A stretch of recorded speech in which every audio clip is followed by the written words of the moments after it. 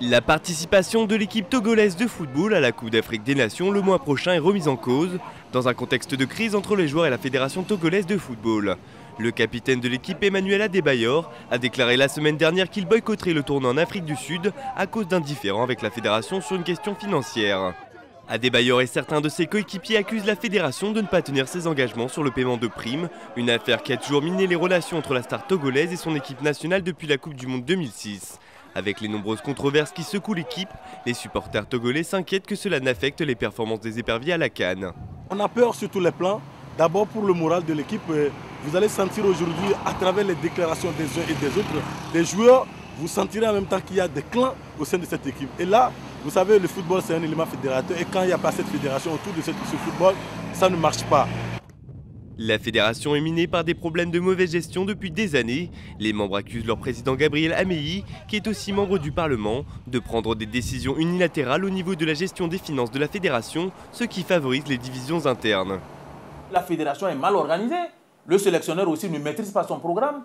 Ce n'est pas parce qu'il a qualifié le Togo, mais moi je vous dis, le sélectionneur du D6, il ne connaît que le président et la secrétaire. Mais alors, on ne peut pas être eh, employé au sein d'une entreprise et dire qu'on a affaire seulement au président et puis au secrétariat. Ça ne marche pas.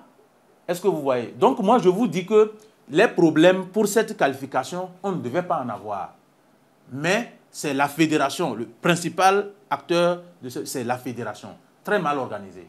Selon le journaliste sportif Steven Lavon, les joueurs souhaiteraient trouver un compromis avec la fédération si elle parvient à détailler le montant de leurs primes. Les joueurs reprochent à la fédération le manque de préparation pour la Cannes et pour la logistique du tournoi sud-africain.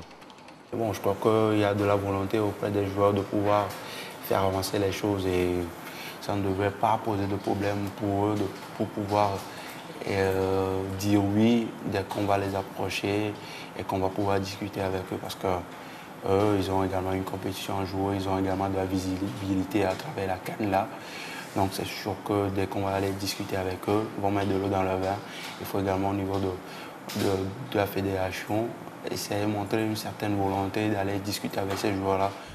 L'entraîneur de l'équipe Didier Six est actuellement en contact avec d'autres joueurs pour s'assurer de leur engagement en vue du prestigieux tournoi qui débutera le 19 janvier prochain. Le Togo est dans un groupe difficile avec la Côte d'Ivoire grande favorite. Ses autres adversaires sont l'Algérie et la Tunisie.